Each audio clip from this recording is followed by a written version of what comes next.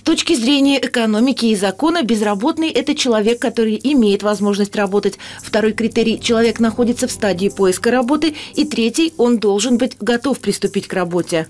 Пособие безработицы получают только официальные безработные. Они, во-первых, должны зарегистрироваться, то есть это говорит о том, что они э, ищут работу, готовы приступить к работе. В службах занятости, как правило, предлагают, да, если человек отказывается несколько раз, то его, соответственно, пособие безработицы не считают. Наше население делится на три категории.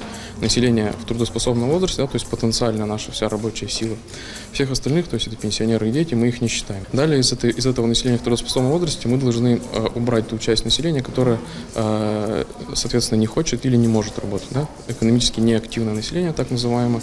То есть сюда относится, помимо того, что например, те же самые инвалиды, э, в трудоспособном возрасте сюда относятся те люди, которые, в принципе, вполне готовы и могут работать, но они не хотят работать, потому что, например, они получили огромное наследство, и им не нужно, в принципе, работать. Да? То есть отсюда мы тоже этих людей, экономически неактивное население, убираем. У нас остается экономически активное население.